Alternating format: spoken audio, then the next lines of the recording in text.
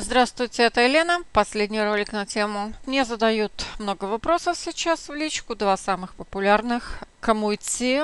Если тебе нравится, где ты сейчас есть, зачем тебе куда-то идти? Я уже упоминала в одном из роликов, что я остаюсь с теми брокерами работать, даже если мне не все нравится. От добра добра не ищут. Если у вас хорошие взаимоотношения с брокером, это то, что вам нужно. Потому что мы не можем контролировать FSM, Индустрия фьючерсов – это большой риск. Предполагается, что это спекулятивные деньги. Поэтому, если вам не позволяет ваш капитал рисковать, то не лезьте во фьючерсах, инвестируйте в бонды. Кстати, о Майрусе. Я сейчас хожу по всяким форумам английским, и там полный амок. Ищут брокеров, сравнивают своих, думают, куда перейти. И кто советует других брокеров, я вам давала два письма. Также приводят в пример, что а мой брокер всегда на скайпе. Я с ним останусь. Мне он нравится. Вам Лана на скайпе уже два года сидит. И на все вопросы, даже самые тупые, с терпением отвечает. Здесь это редкость. Здесь надо звонить. Отвечают всегда быстро, на e-mail отвечают быстро, на звонки отвечают быстро. А вам, Лана, на скайпе вообще в реальном времени отвечают. В данном случае здесь таких мало. Поэтому выбирайте себе брокера сами, имейте свои мозги. Если вы не можете рисковать, то во фьючерсы не лезьте, не тот без нас. И еще про NFA. Про NFA, а, почему они сами себя контролируют. NFA была создана добровольно, сама индустрия решила саму себя контролировать и инспектировать. Поэтому в NFA сидят люди с фьючерсов. То, что эта система сейчас не работает и стала посмешищем, это уже другая история, и это тема текущего ролика. Я сюда вмещу все, что хотела сказать и не успела. Линк к одному из блогов, писатель которого находится практически в персональной вендетте против NFA.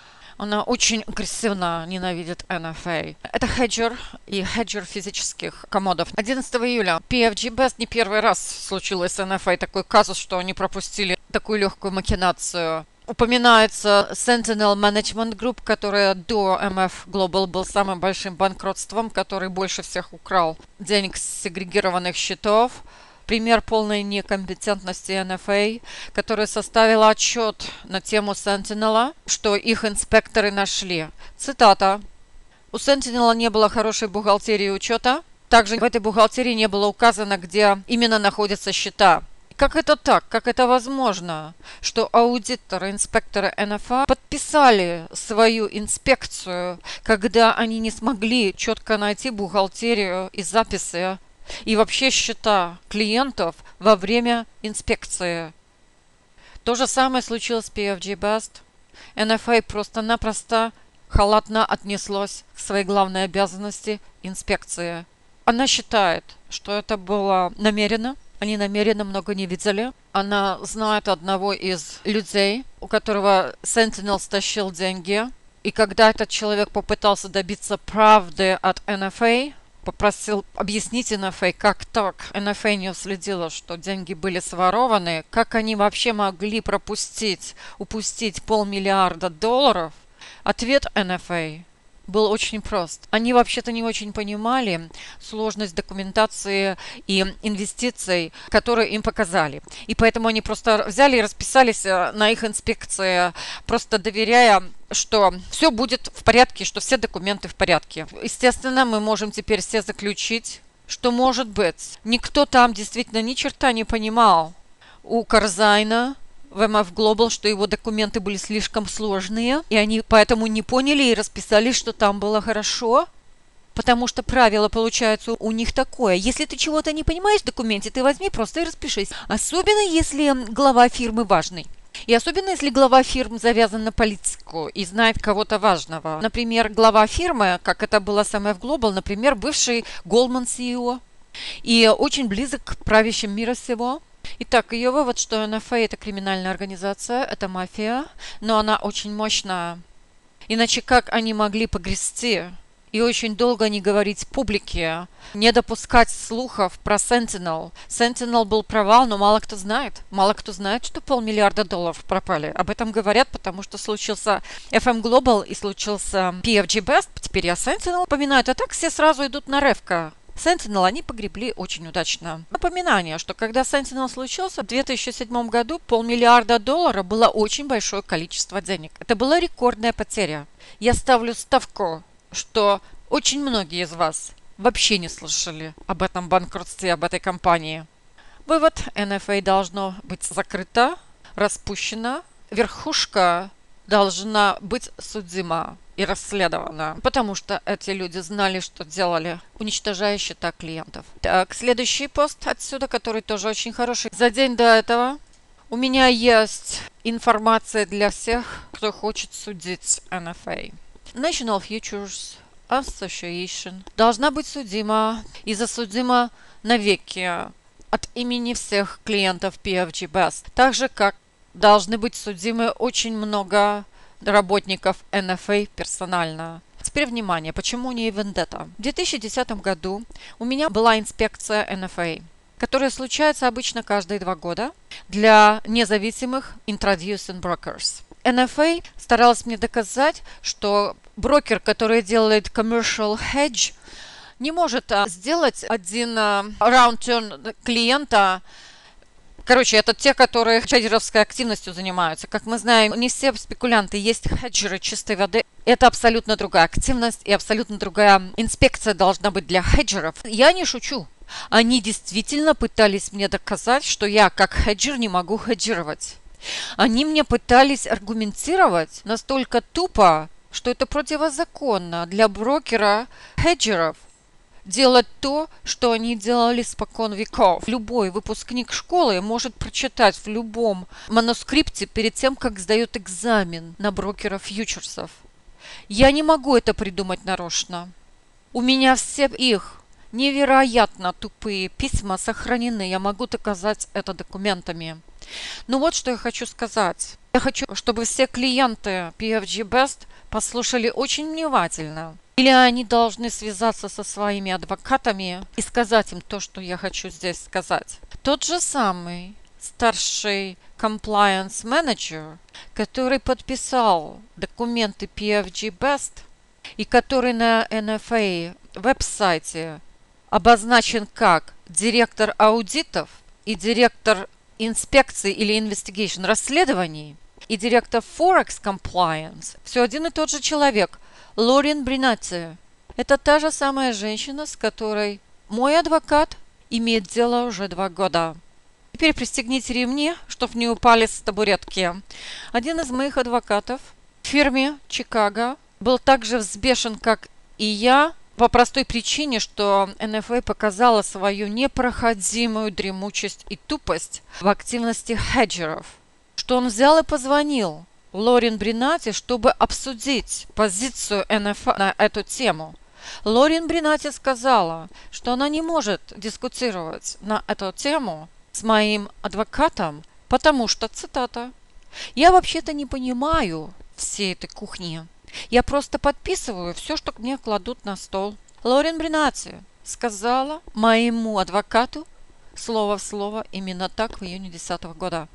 Эта женщина, директор аудитов и расследований, и она открыто сказала, что она не только не понимает ни черта во фьючерсах и опционах, но она также признала, что она очень свободна, практически как робот подписывает абсолютно все, что ей кладут на стол. Итак, заключение. НФА несет ответственность за инспекцию PFG Best по простой причине, что PFG Best является non-clearing FSM. Директор отдела инспекций и расследований NFA Лорин Бринати признала абсолютно спокойно моему адвокату, что у нее нет даже самого рудиментарного понятия, что такое наша индустрия. Она не может обсуждать даже самые простые концепции, и она подписывает абсолютно все, что кладут ей на стол. Все, кто интересуется, присоединиться к моей попытке судить НФА и персонально Лорин Бринати, пожалуйста, скажите вашему адвокату, чтобы он связался с моим. Я продолжу про Форекс, потому что постоянно спрашивают Форекс. Последний пост 13 июля в пятницу написал ей человек, письмо которого она ставит здесь. Итак, один человек, который профессиональный форекс-трейдер, хочет с ней объединиться, судить NFA.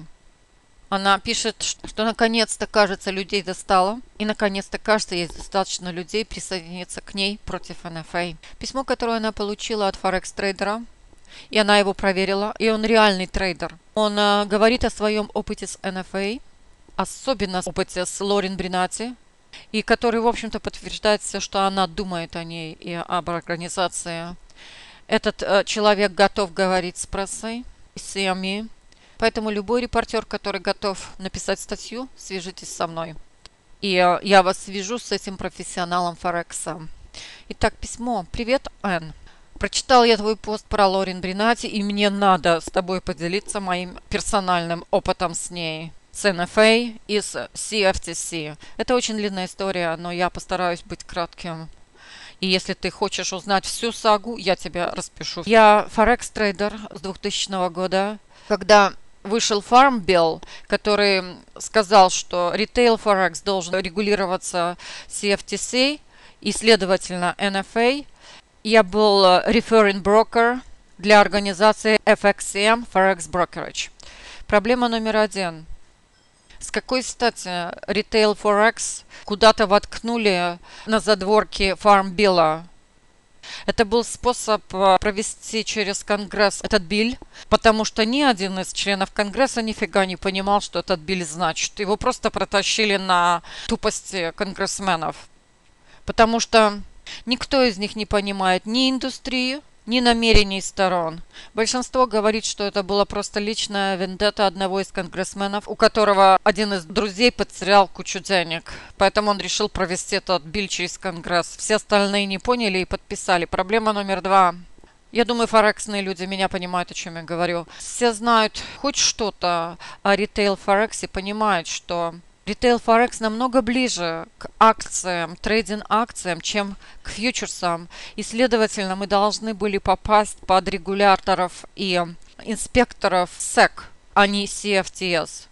Но так как идиоты в Конгрессе думали, что Форекс фьючерс контракты это абсолютно то же самое, что фьючерс-контракты, то они просто автоматически, не задумываясь, приключили нас к CFTS и э, к фьючерсам, а не к SEC, что акции. В любом случае, CFTS и NFA были сильно злобные, когда им было сказано, что они должны завязаться регулировать какой-то ритейл Forex потому что это не была та работа, которую они хотели Первая задача была изучить индустрию, потому что им надо было создать какие-то правила, зарегулировать индустрию. Я связывался и с CFTS и NFA много-много раз в первые дни, недели, месяца после того, как вышел Bill, потому что у меня есть сервис, у меня есть экспертиза, у меня есть опыт, и я мог бы им помочь в своей консультации во время их первых шагов в нашей области.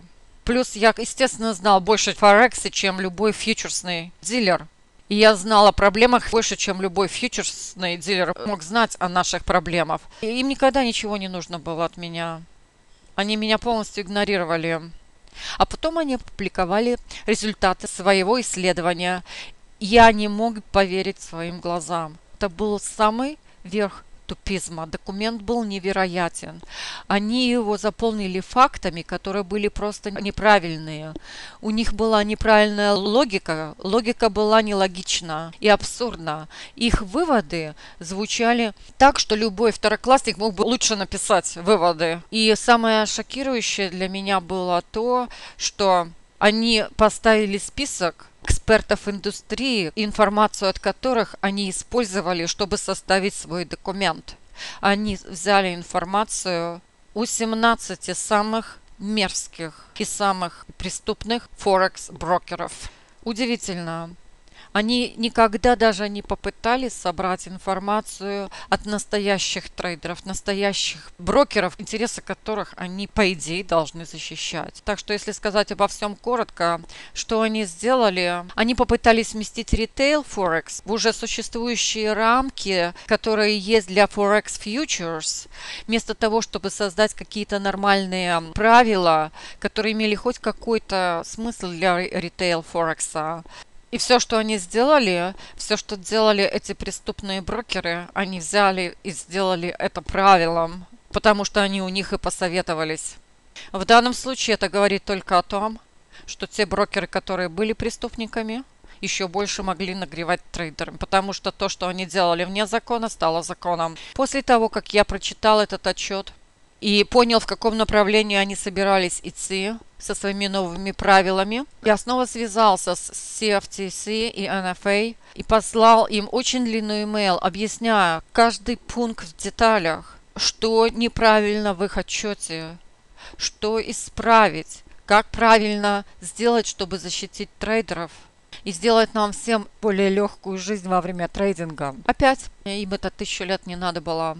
В одном телефонном звонке с нашей любимой Лорин Бринати я представился еще раз и попросил дать мне возможность объяснить, что значит их новые правила со стороны трейдеров. И она буквально стала вопить на меня, говоря, кто ты такой? Почему ты думаешь, что ты знаешь больше, чем НФА? Это был абсолютно сумасшедший дом, абсолютно ненормально. А потом у них был период, когда публика могла комментировать перед тем, как новые правила были введены как закон. Больше 9 тысяч комментариев публичных было поставлено. Я прочитал каждый из них. Из этих более 9 тысяч комментариев было, может быть, 25 которые поддерживали новые правила. Остальные были против. И все равно они провели эти правила абсолютно точно так же, как их написали в оригинале. У них была своя собственная цель. Им было абсолютно наплевать на людей, которые они должны были защищать. У меня нет никаких сомнений, что НФА скоррумпирована, CFTC если они не напрямую скоррумпированные, но каким-то образом через заднюю дверь они разрешили NFI делать их а, фоне аудиты, они разрешили NFA делать их зверские набеги на нормальных брокеров, на нормальных CTA, на нормальных CPOs. У меня нет никаких сомнений, что НФА в партнерстве с большими брокерами с Форекса разорит нафиг все маленькие компании, вывести их из бизнеса. Это настолько очевидно, что это даже не смешно. Она защищает брокеров Форекса, которые обманывают и создают правила для трейдинга, которые делают более трудно для трейдеров управлять своими счетами и делать профит и CFTC сделал все, чтобы это прошло в жизнь. Правда такова? Трейдеры в определенное время дня не имеют никакого способа защищать свои собственные счета. Это правило обошлось мне в 250 тысяч марджин кола. Я оставлю этот текст, читайте форексные трейдеры, чтобы вы поняли, о чем он говорит. Да, и также ты права, а, мисс Лорин. Она нифига не знает ни о чем в области трейдинга Форекса или фьючерсов или комодов. Так же, как и все ее коллеги в НФА, должна быть в тюрьме за фрауд, потому что именно так они и управляют своей организацией. Присоединюсь к тебе, если ты предпримешь легальные действия. Итак, это был последний ролик на тему «Осуди кто?».